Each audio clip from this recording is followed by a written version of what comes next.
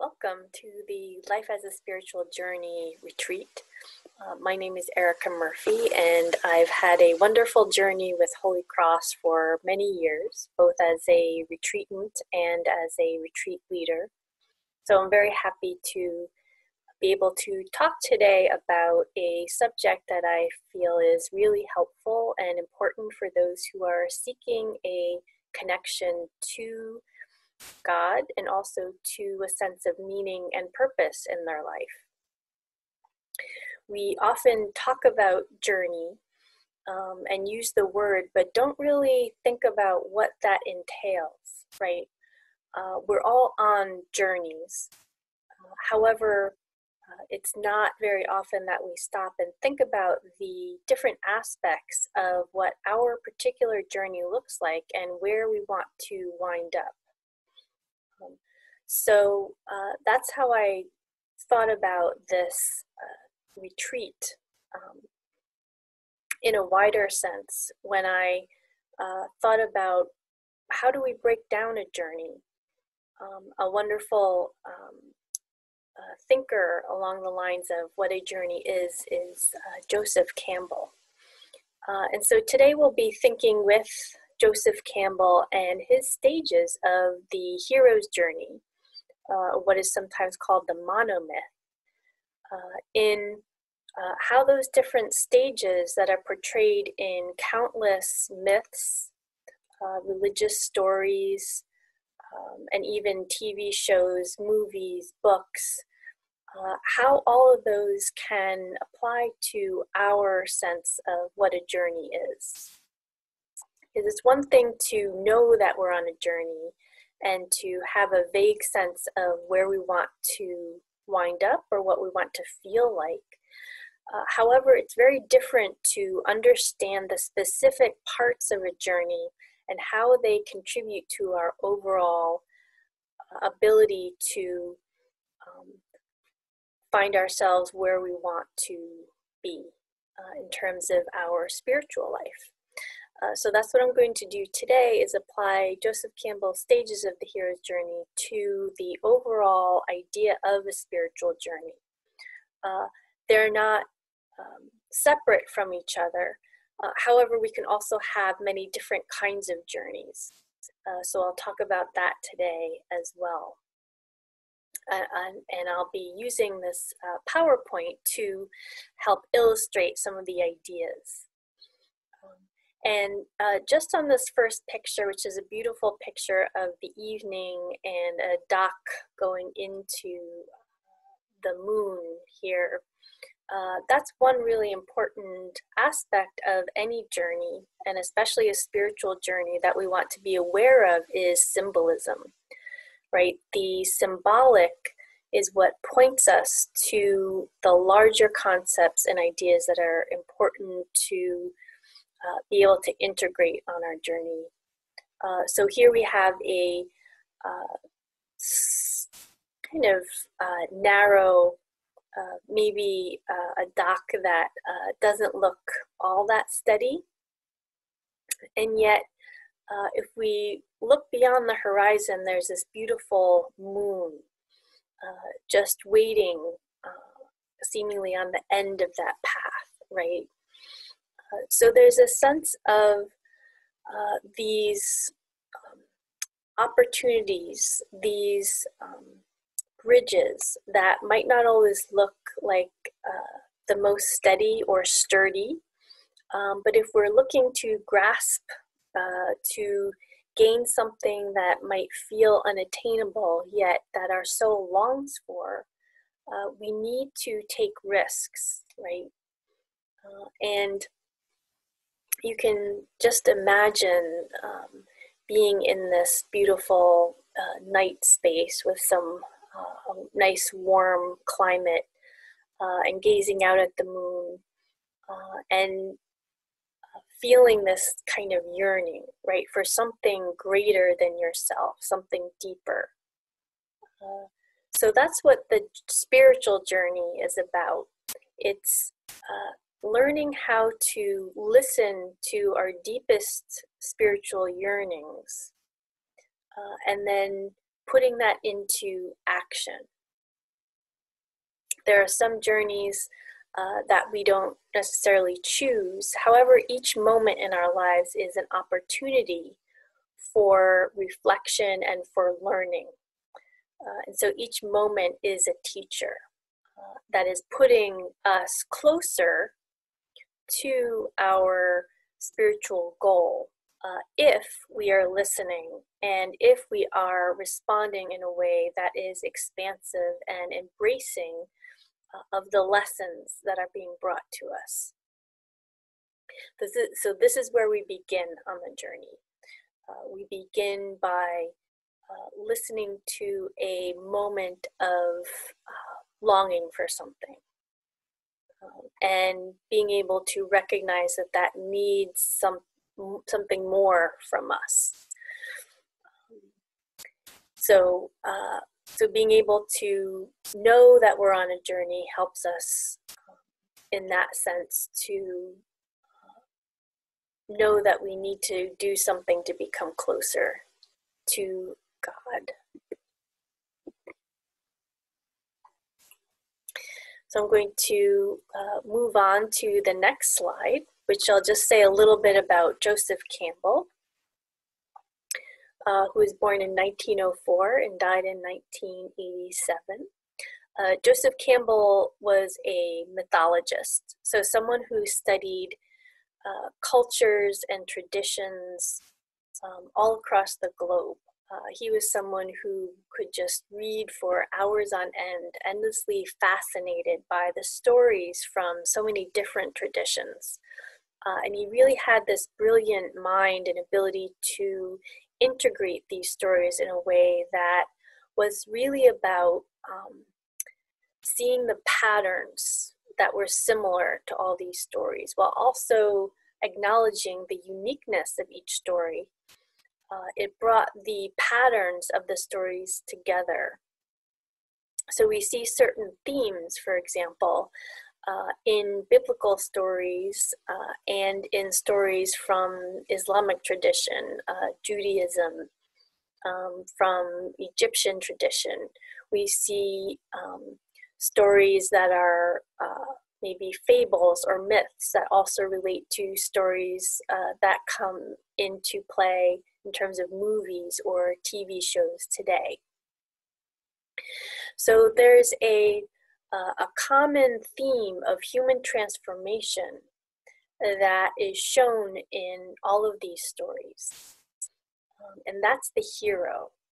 So we want to be able to uh, see the hero and the patterns of the hero's journey so that we can recognize our own role in being able to go through this transformation and have the uh, expansive and um, really uh, amazing transformations that many of uh, people for millennia have gone through. So it's about relating to this role as hero. Um, even if many of us might not feel like heroes, the idea is to uh, recognize the challenges and sacrifices that we need to face in order to actually attain what we want in our spiritual life. So we are the hero. Uh, and the lives of um, great beings uh, like Jesus, like Buddha, um, are there as examples for us to um, to really be able to uh, emulate in terms of facing fears, in terms of um, being a, a, student and uh, learning from ourselves, from our own experiences, uh, as well as countless other stories. Uh, so Joseph Campbell was the one who really put all of these um, these patterns together in a really unique way, uh, which is why he is known for this hero's journey. Uh, so you can find many uh, resources from him, and I'll go over some of those at the end of this presentation, just so you know uh, books that you might like to use to follow up here. Um, but if you just Google in Joseph Campbell Hero's Journey, you're going to find a lot, uh, both in images and just in terms of books or other information. There's a lot out there. Uh, and so that can really help you get a little bit deeper uh, if you're interested in more. Uh, because in, in this hour, I'm really just uh, skimming the surface, as they say, uh, and giving you some basic information. Uh, but if you want to go deeper, there's a lot of uh, good free material available. Okay. So this next slide gives us one model of the hero's journey. Now, if you go into uh, Google Images and Google Joseph Campbell Hero's Journey, you're going to see uh, many different maps. Uh, this is one that I find helpful because it is uh, somewhat simplified and basic, uh, but there can be uh, many different um, uh, stages to this journey in terms of how it's explained and divided. Um, but for the purposes of our discussion today, it's helpful to know three main stages uh, and I'll name those and then I'll also go through uh, some of the details with you. Uh, so we start with a call to adventure um, where the hero is um, has some kind of call. And then that hero goes on the journey and they experience what we call initiation, where they experience challenges as part of their journey. Uh, and then they after they go through those challenges, they return into the world transformed, where they are uh, not exactly um, where they were before because they're a changed person, but they're back into a world that feels more familiar. So those are the three stages the uh, departure or call to adventure, the initiation, and the return. Uh, so we start at the top here uh, the top where we have our little um, hiker man uh, on a call to adventure.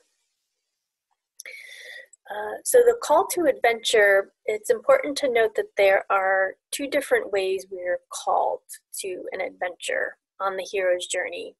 Uh, the first one is chosen, right, where we make a choice to undertake uh, an adventure or a change. You can think of many different kinds of transformations we go through. Uh, it might be choosing to go to college. It might be choosing to get married. It also might be choosing to get divorced. Uh, it could be um, choosing to go on a literal trip, right? Um, so those are ways where we uh, choose certain actions uh, that will then have their own uh, challenges and put us through tests and trials along the way. Um, the other kind of call to adventure is one that is uh, foisted upon us. So, something that happens in our lives that is unexpected and not always welcome, but forces us to go through uh, a certain kind of journey. That could be, for example, um, what we're experiencing right now with uh, coronavirus. Uh, it could be getting sick. It could be someone else that you love getting sick. Uh, it could be an unexpected death in the family. It could be losing your job, right? Uh, so these are the kinds of life events that we don't choose. Uh, we don't necessarily expect uh, and yet, because of them, we're shifted into a different world, right? So that's the division here between the known and the unknown. Uh, is that we are feel in the known world we're feeling fairly comfortable we have our bearings uh, we feel like we uh, understand who we are we basically understand uh, the other people in our lives there's a feeling of um, balance, right? When the adventure is taken up, when it's either chosen or foisted upon us, then we cross this threshold into the unknown world. Right? So the unknown world uh, is a world where we may feel disoriented, or we may feel um, insecure, uncertain. We don't know how things are going to come out, right? For example, uh, I teach undergraduates, and uh, the experience of going to college is uh, very much a hero's journey. Um, you hear about what it's like to go to college, but you don't know what it's like until you're there. Uh, and when you're there, you have to find new friends. Uh, you have to learn how to uh, navigate new living situation. You have uh, left the security of your uh, parents. Uh, and so there's a whole lot going on in that leaving the security and known world of your primary family and moving into this unknown territory right? So even though it's chosen, uh, it's still fraught with, or can be fraught, fraught with fear. Uh, it's always fraught with an unknowing, right? So then you go into this other unknown world and you need to learn how to navigate it, right? Um, and because it's unknown, you're not exactly sure what skills you might even need to make it in this unknown world. Uh, and therefore, you start to develop these skills. Uh, and one thing that uh, arises in this unknown world very often is you find helpers and mentors, as you see on the chart. So, after you've committed to this journey and you're all in and you are uh, needing help, very often people will show up. Um, and this is shown in stories uh, around the world and uh, stories that you may be familiar with, right? We have, um, for example, in the uh, Hobbit, we have Gandalf shows up.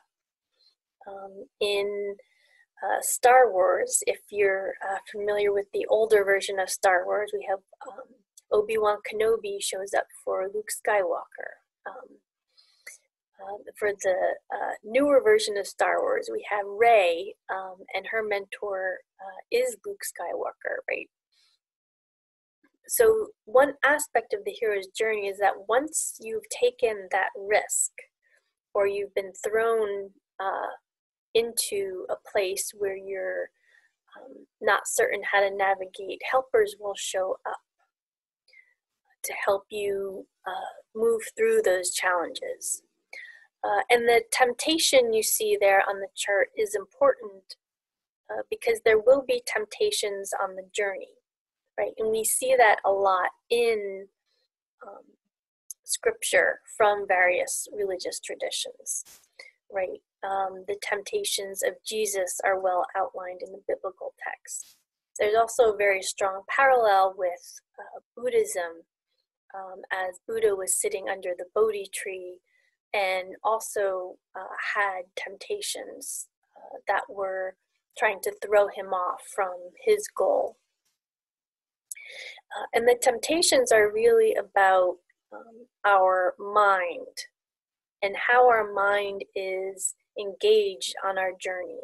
So there's a temptation to um, to not feel that we're able to complete the journey, right? We feel that we are not uh, strong enough, that we don't have uh, the equipment or skills that we need to finish the journey, or we are maybe attached to things that are um, that we need to let go of. One uh, common temptation uh, is that we simply are feeling so rattled or um, disoriented in this unknown world that we want to go back to the known world, right? Uh, so there may be temptation to uh, run back to that sense of familiarity. Uh, and we see that sometimes with relationships, right? When people break up, uh, and then maybe uh, one person uh, feels like they just can't continue with uh, the breakup. They they long for that uh, that comfort and that familiarity, even if the relationship really wasn't healthy. Um, and that might result in getting back together, right? Um, so that that longing for uh, familiarity. Um, and in some journeys, that's simply not an option, right? In the case of, for example, losing your job or a sudden death in the family, you are absolutely in this, in the midst of the unknown world. Um, but different temptations to uh, to not persevere through this the transformation will arise. Then you see at the bottom this idea of abyss, uh, death, and rebirth. Uh, so the um, the hero uh, may reach a sense of feeling abysmal, right? Um, in Christianity, there's that that idea of dark night of the soul, which is really what this abyss is uh, getting at in terms of it feels like a place of hopelessness when in fact it's a place of of rebirth right? There's there are things going on that you simply aren't aware of. Um, but in the meantime uh, you feel stuck or you simply feel like uh, nothing will ever change. Uh, and then you're able to move through that um, and that's where the transformation happens. Um, and then there's that um, that word atonement there before we come back to the known world. So here I think it would be helpful to think of atonement as uh, the way it's usually split up in the at one ment, right? Uh, so atonement in Christ in the context of Christianity is usually referring to uh, the need to atone for your sins, right? That you've sinned against God and therefore you need to do something to make up for that.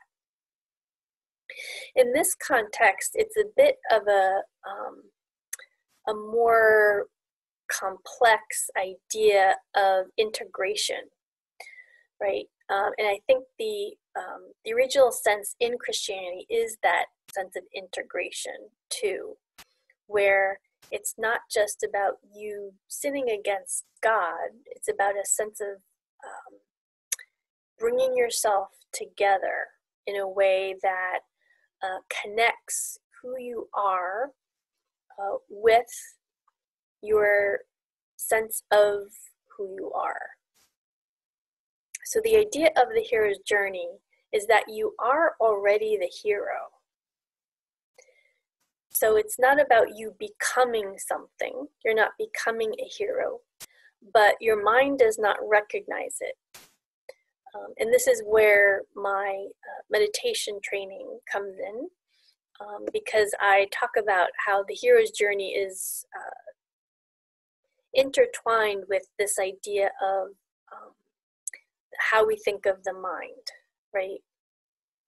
Because we're never uh, we're never looking to change who we are. We're looking to discover who we are, right? If you think of any um, of these um, wonderful stories about a uh, coming of age story, um, whether it's uh, Harry Potter or uh, another story, um, it's always about the hero discovering who they are, right? They they think that they're this ordinary creature that can't really do too much, uh, and then it's through the process of transformation that they realize their power, right? This positive kind of power that is empowering. Uh, and the uh, one good example, if we go back to Star Wars, is the idea of the Force, right? Uh, the force isn't something you do, it's something that you have to be um, skilled at in order to harness it.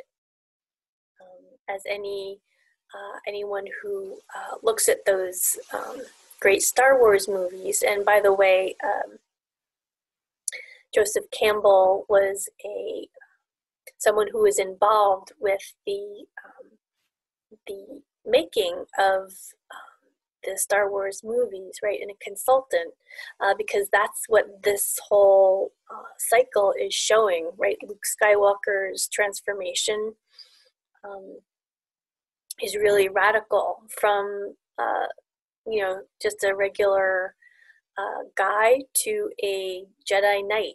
Uh, but the fact is that he always had that skill within him. It just that he needed Obi Wan Kenobi and Yoda to bring that out of him. Um, and so the atonement is about um, bringing together our uh, sense of who we are with the fact of who we actually are. And the fact of who we actually are is that uh, the idea of being a child of God, being a uh, someone who is um, has uh, the divine spark within. Uh, so that's what we're looking for when we are gazing out on that dock looking at the moon. We are uh, looking at our reflection of who we can be, right? Who we can uh, become not that we're becoming something different but who what our mind can become what our mind can recognize about ourselves um, and then as we um, are able to make that shift then we return to the world so the return is this um, coming back into the world with these gifts that we have gained through uh, those challenges, those trials, uh, those potential uh, feelings of abyss. Um, and now we can uh, give that to the world, right? The hero who uh, now sees themselves as powerful um, can bring that power to the world and do some great, wonderful things with it. Uh, and that's the the the ideal model of the return uh, is where the hero is able to bring their gifts into the world. Okay. So that's the, the basic outlay of the journey. As I said, this can be divided further, but um, uh, this will serve our purposes for uh, our presentation here. We'll move on to the next slide. Uh, so this video, uh, I just wanted to bring it up. I'm not going to play it since it often doesn't translate very well uh, through Zoom. But um, the um, this particular video by Matthew Winkler is a TED Ed video. It's only a few minutes. I would recommend watching it. Um, it brings together the uh, ideas of Joseph Campbell with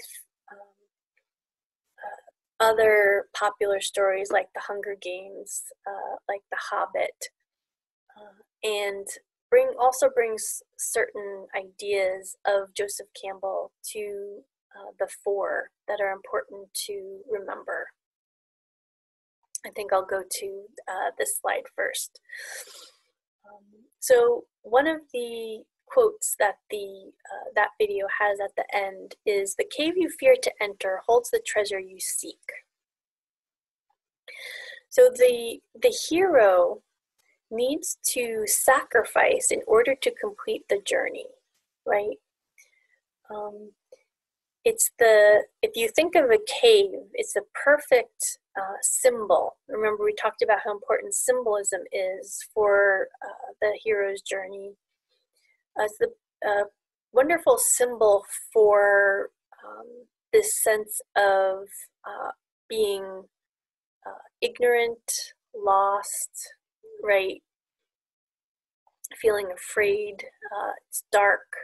We don't want to go into caves. Uh, however, um, that fear that's holding you back is preventing you from getting what you need, right? So the fact that you're fearing the cave doesn't mean that you shouldn't enter it.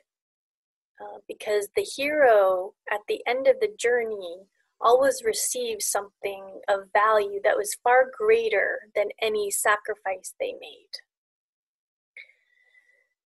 So we need to be aware of what is holding us back from our quest. And when I'm doing this um, this retreat in person, uh, I often do a journaling exercise and ask people to ask themselves, What is my quest? Uh, and that's a big question, uh, and it's meant to be big because it draws out this uh, larger idea of our lives as holding deep meaning and deep purpose.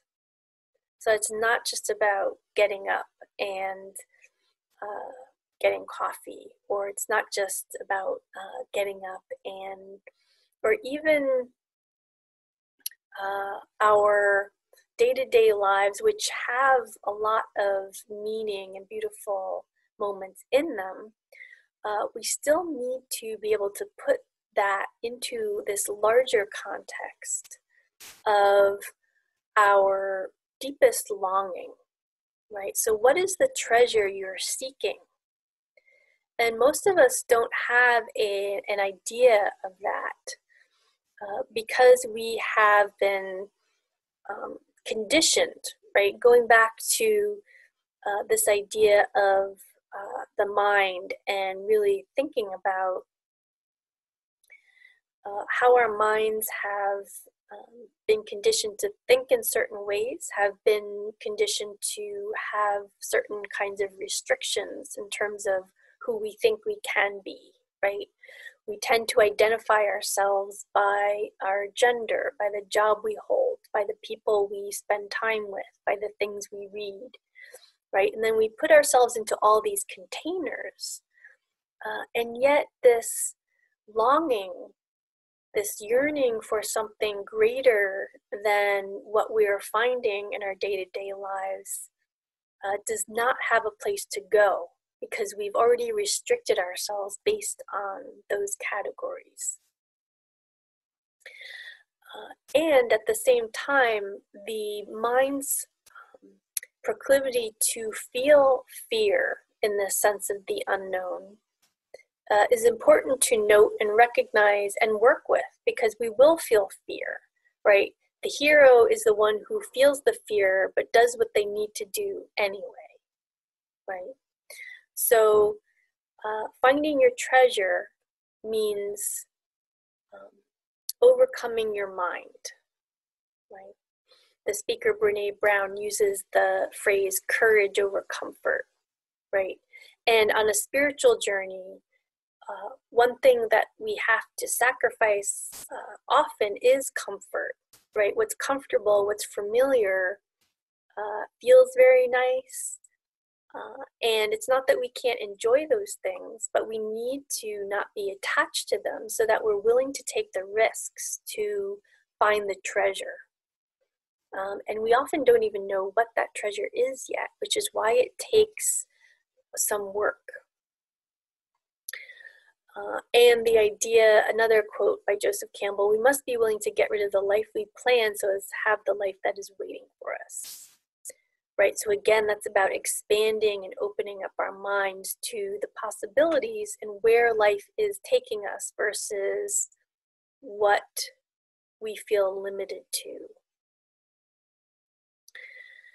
Um, a hero is someone who has given his or her life to something bigger than oneself, right?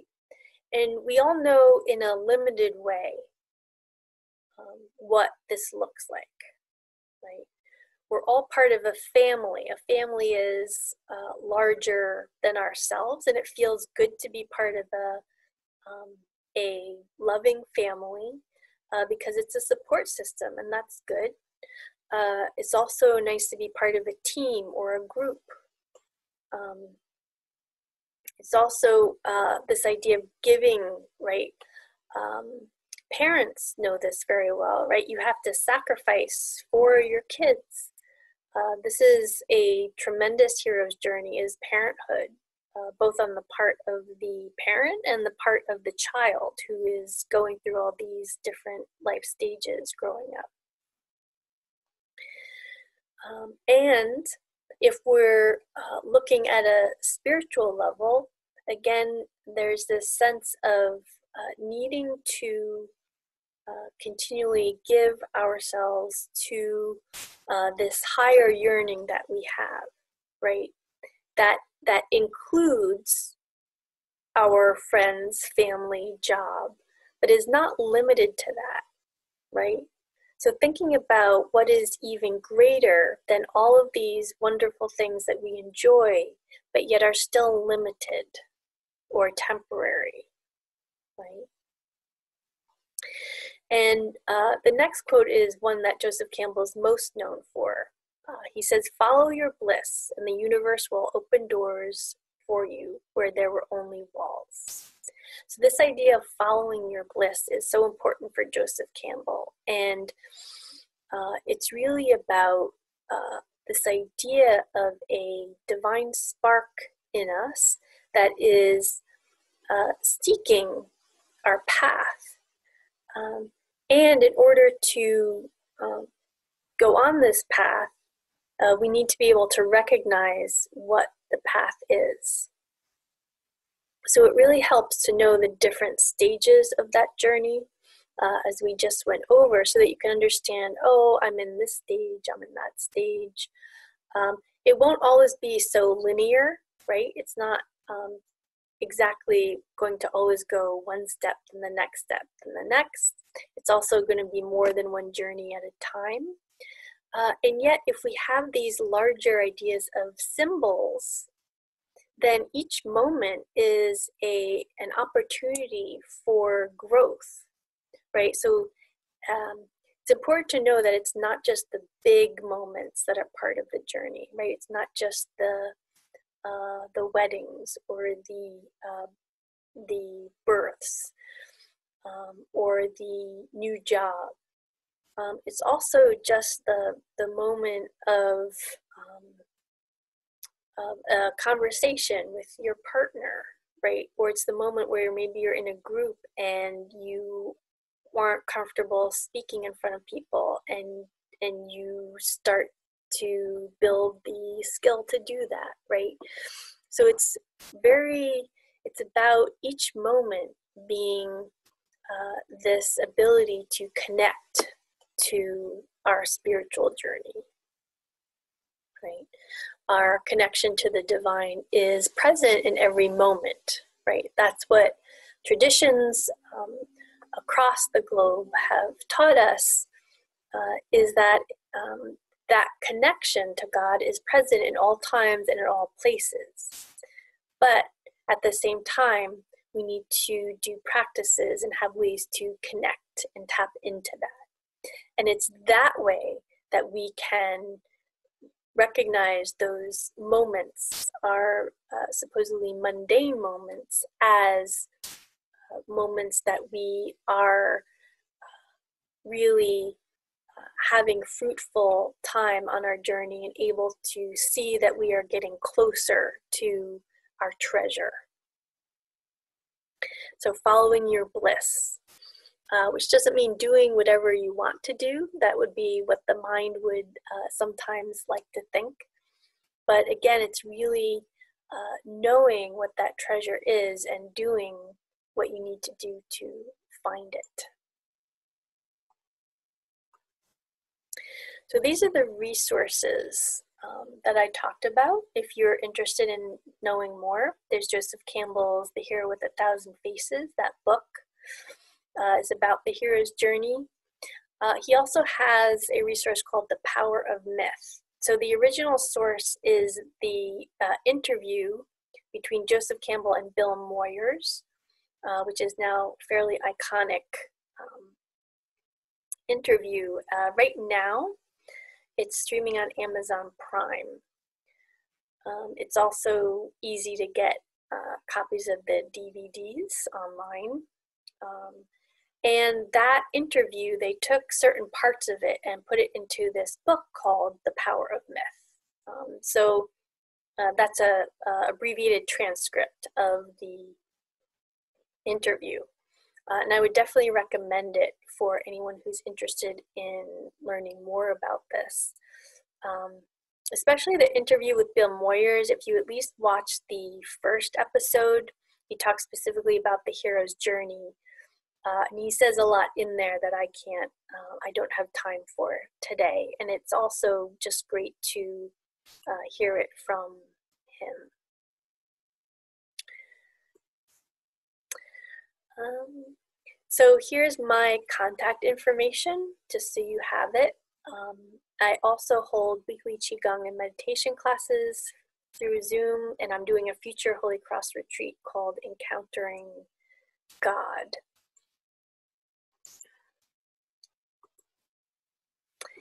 And this is, I'm gonna move my picture down here.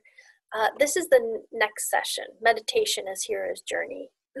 this is a quote from The Power of Myth, so it's something Campbell said in the interview. He says, Having a sacred place is an absolute necessity for anybody today. You must have a room or a certain hour or so a day where you don't know what was in the newspapers that morning. You don't know who your friends are. You don't know what you owe anybody. This is the place of creative incubation. Campbell here uh, is really saying that uh, we have to have a space of um, to just be, right? Um, and as my meditation teacher often will say, right, we have a space in our uh, homes for cooking, a space for uh, um, just sitting and talking. Uh, we have a space for sleeping, but most of the time there's not a space for um, meditation, right? So, where is your sacred space? Uh, and the reason that this is important is because we need these practices in order to discover who we truly are, right? Uh, Campbell says here creative incubation, right? Creative incubation is the way that you find that treasure, right? That you're discovering your true nature um, and you are able to um, bring that power into the world um, and that you know the path that you need to be on. Uh, so having a um, some kind of contemplative practice that you do is vital to being on a spiritual journey. Um, and it's very hard for the mind to simply be, right? We often feel that we're not doing anything when we're simply sitting. Um, but in fact, our uh, the structure of our brain is literally changing, right? It's been shown that even after two weeks of mindfulness meditation, the structure of the brain changes uh, and it increases our ability to focus, it increases our ability to remember, increases our uh, ability to regulate our emotions, right? So those are so important. And at the same time, we also receive a greater gift of uh, spiritual awareness and connection to the divine. Uh, and so that's what I'll go over in the second uh, session tomorrow. So I hope that this has been uh, helpful for you, and um, I hope that you can use these different ideas of the stages of Campbell's hero's journey to help you understand and give um, meaning to each moment in your life. Uh, it's really been able to do that for me. Uh, I don't know what I would do if I didn't have this larger idea of um, journeys, of transformations. Uh, it's also really helped me with times and moments that are difficult uh, whether those are more mundane emotional uh, fluctuations that happen where I'm feeling uh, either depressed or anxious, or other times where I'm having a difficult time this really gives us a sense of perspective and it's given me a kind of stability uh, that I um, haven't really found in any other source.